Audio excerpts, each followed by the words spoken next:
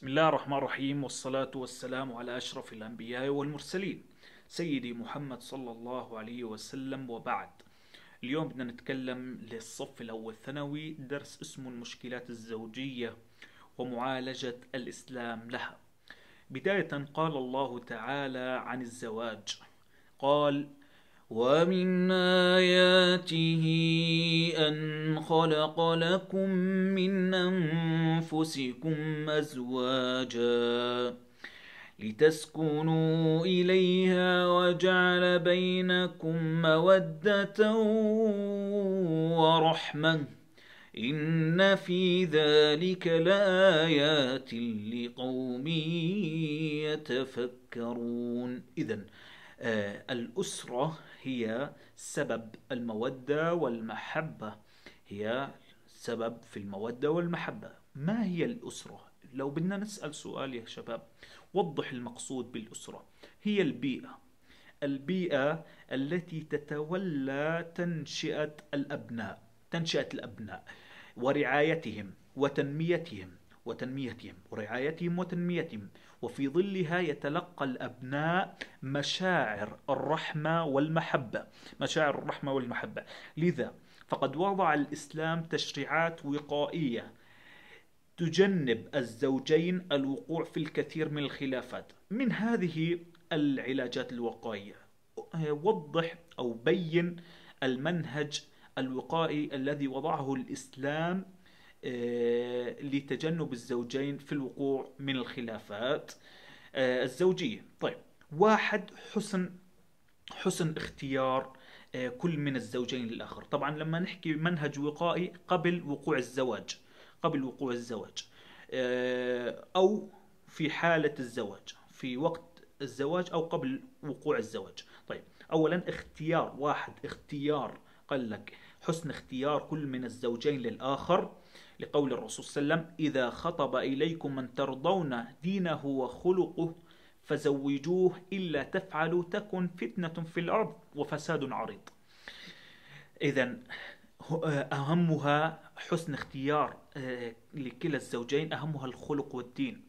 أهمها الخلق والدين. ليست كل شيء المظاهر يا شباب إنما الخلق والدين وأن يكون كل منهما كفؤا. وأن يكون كل منهما كفؤا للآخر. إلا أن بعض الرجال والنساء يختار أحدهما الآخر على غير هذه الأسس ومن غير مراعاة للكفاءة بينهما من النواحي الدينية والاجتماعية والثقافية والاقتصادية. وقد يؤدي ذلك إلى خلافات زوجية لا سمح الله ومن ثم الطلاق. ومن ثم الطلاق هو لقول الرسول صلى الله عليه وسلم. قال الرسول صلى الله عليه وسلم شوف شو قال. عن المرأة التي تطلب الطلاق بغير سبب. قال حرام فحرام عليها رائحة الجنة. حرام عليها رائحة الجنة. ثانيا الموضوع الثاني للعلاج الوقائي لتجنب الزوجين من وقوع الخلافات. قال لك الالتزام بشرع الله. الالتزام بشرع الله هذا معروف في الحياة وإحنا بنعرف قوله الله قول الله تعالى ومن يتق الله يجعل له مخرجا.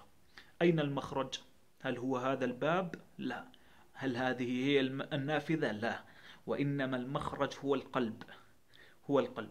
القلب هو سبب مخرج الإنسان من إيش؟ أي مشكلة في حياته.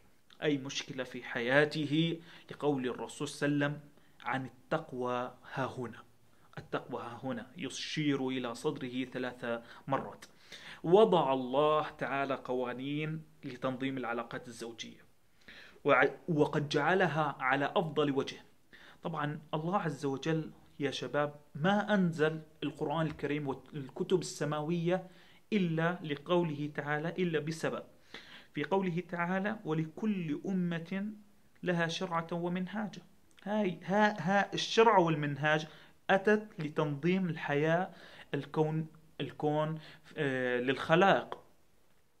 لذلك فعندما يتجاوز أحد الزوجين الحدود الشرعية تبدأ الخلافات التي تهدد الأسرة.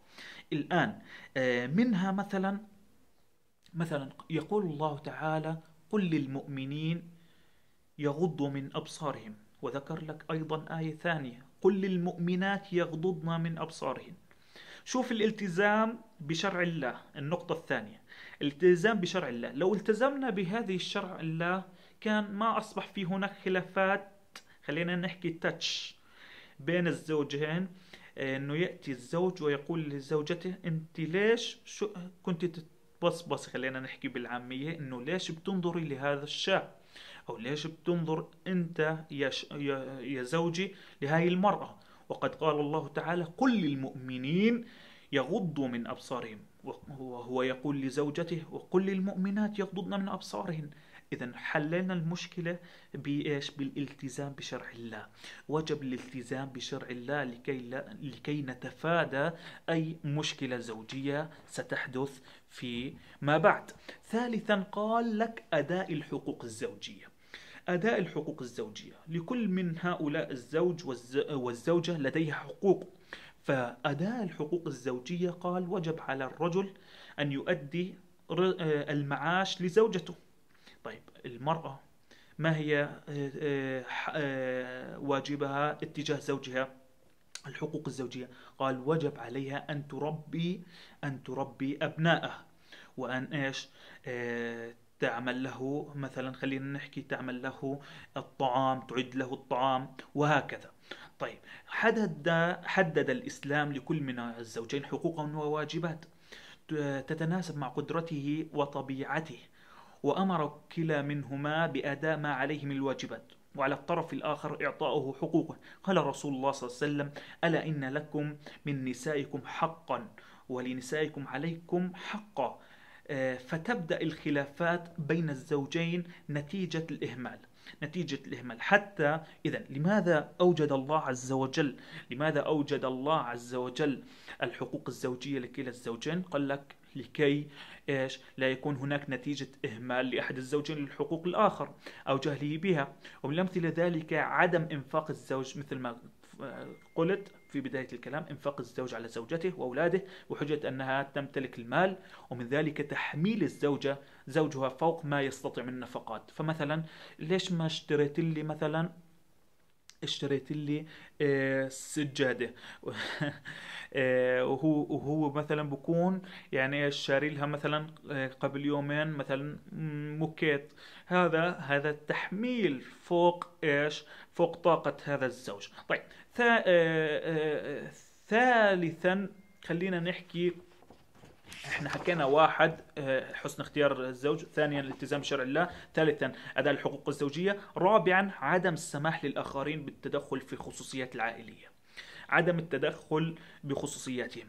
آه، إنه لا يسمح الرجل ولا يسمح الزوج ولا الزوج آه، لا الزوج ولا الزوجة لا يسمح لأحد غريب بأن يتدخلوا بإيش؟ بخصوصياتهم الزوجية. وكذلك هي تحترم والديه وأقاربه وفي الوقت نفسه حذر الإسلام الزوجين من السماح للأهل بالتدخل السلبي بين الزوجين. وأوجب على كل من الزوجين أن يحفظ الأسرار والخصوصيات العائلية. خامسا قال لك تقبل كل من الزوجين طباع الآخر والصبر عليه. آه، لكل من الزوجين خصوصيات بدنية ونفسية. وجعل الطرف الآخر مما يؤدي إلى عدم مقدرته على التعامل معه.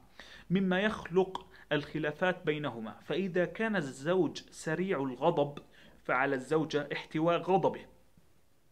احتواء غضبه حتى يهدأ. وكذلك على الزوج أن يصبر على ما يكون من زوجته من تصرفات فيصبر كل منهما على الآخر ويتحمله فعن أبي هريرة قال رسول الله صلى الله عليه وسلم لا يفرق مؤمن مؤمنة إن كره منها خلقا رضي الله رضي رضي منها آخر. فمثلا كان الرسول صلى الله عليه وسلم إذا أراد أن يعاقب إحدى زوجاته كان يضربها بالسواك. يضربها بالسواك.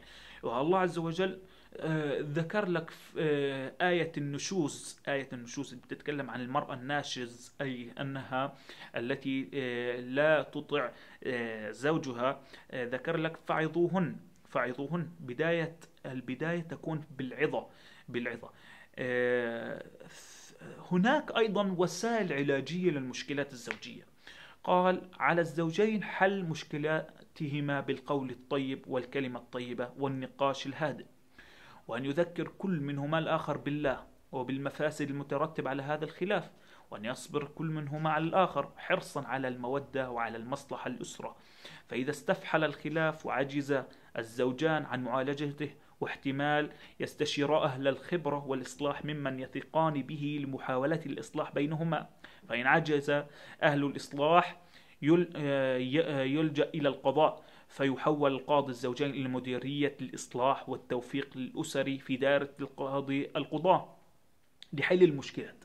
الآن قال الله تعالى وإن خفتم شقاق بينهما فابعثوا. شوف شو قال فابعثوا حكما من أهله وحكما من أهلها. الله عز وجل يسن قانون جميل لأي مشكلة. ما بيكون هناك حكم واحد. ذكر لك أنه لابد من أن يكون هناك حكمين حكم من أهل الزوج وحكم من أهل الزوجة. فابعثوا حكما من أهله وحكما من أهلها إن يريدا إن يريدا إصلاحا يوفق الله بينهما. إن الله كان عليما خبيرا. ويشترط في الحكمين أن يكونا مسلمين بالغين عاقلين عالمين عالمين بالأحكام الشرعية. فإذا استفحل الخلاف بين الزوجين ولم تعد الحياة تطاق ولم يستطع الحكمان حله ففي هذه الحالة شرع الإسلام الطلاق. تخليصا للزوجين من حياة فقدت مقومات استمرارها. الآن في قانون عن قضية المشاكل آه، جميلة في ألمانيا. القانون هذا بيتكلم بقول إذا أتى أحد إذا أحد يشتكي على خصم فلا بد آه، أن يتم سجنه لمدة 24 ساعة وقيل كأنه 48 ساعة حتى يذهب عنه الغضب. فبعد أن يذهب الغضب يقوم إيش؟ بمراجعته. هل تريد أن تشتكي أم لا؟ وهكذا قال الله تعالى عن إيش؟ عن عن قضية الطلاق. فإذا طلقتم النساء فطلقوهن لعدتهن وأحصوا العدة.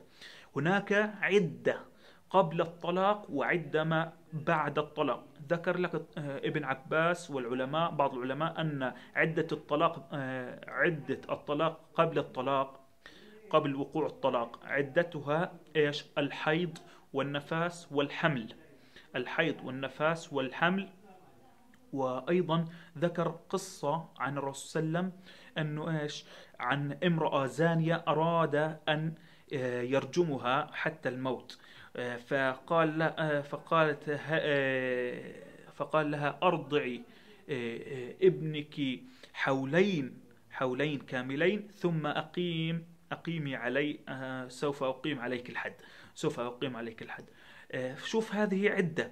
إذا رحمة بالمرأة وبالمولود وبحالتها. بعد هذه العدة اللي هي الحيض أو النفاس أو الحمل قال يأتي للمرأة وللزوج. هل تريدان الطلاق؟ فلا يقع الطلاق. فيأتي ويسأله القاضي هل تريد الطلاق؟ فإذا وقع فإذا كان يريد الطلاق وقع الطلاق. بعد ذلك وقع الطلاق. الآن الله عز وجل آه، أيضا أعطى الإسلام الزوجين فرصة لإعادة الحياة الزوجية لمسارها. الصحيح مش بيقع الطلاق خلص وبس. قال آه، جعل ذلك بأن جعل الطلاق على ثلاث مرات. قال الله تعالى الطلاق مرتان. الطلاق مرتان. فإمساك بمعروف أو تسريح بإحسان. إلى قوله تعالى فإن طلقها فلا تحل له من بعد حتى تنكح زوجا غيره فإن طلقها فلا جناح عليهما أن يتراجعا. إن ظنا أن يقيما حدود الله إن ظنا أن يقيما حدود الله. لهذا الكون يأتي على مبدأ قوانين وحدود الله. فإذا أقمنا حدود الله سلكت الحياة الاجتماعية وجميع الحياة آه، المالية وكل شيء. لكن إذا لم نتق الله ولم نقيم حدود الله كانت هناك شقوة بين الطرفين وبالتالي لن تستمر الحياة وبالتالي إلى النزاع والخلاف ثم الطلاق ومن ثم آه، يذهب كل أحدهم إلى طريق آخر. آه، طبعا في هناك آه، لابد أن نتذكر أن قيام الأسرة وتماسكها يجب أن لا ينقض بسهولة وليحرص كل من الزوجين على تطبيق مبدأ التراضي قبل التقاضي والوفاق قبل الشقاق وهو الشعار الذي وضعته دائرة قاضي القضاة لتوفيق الأسري بينهما.